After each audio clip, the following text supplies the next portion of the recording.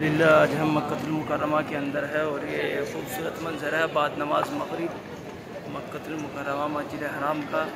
کیا خوبصورت منظر ہے۔ میری دعا ہے کہ اللہ تبارک و تعالی آپ لوگوں کو بھی جلد سے جلد یہاں کی حاضری نصیب فرمائے اور یہاں کی رونقیں، یہاں کی برکتیں آپ لوگوں کو بھی جلد سے جلد عطا فرمائے۔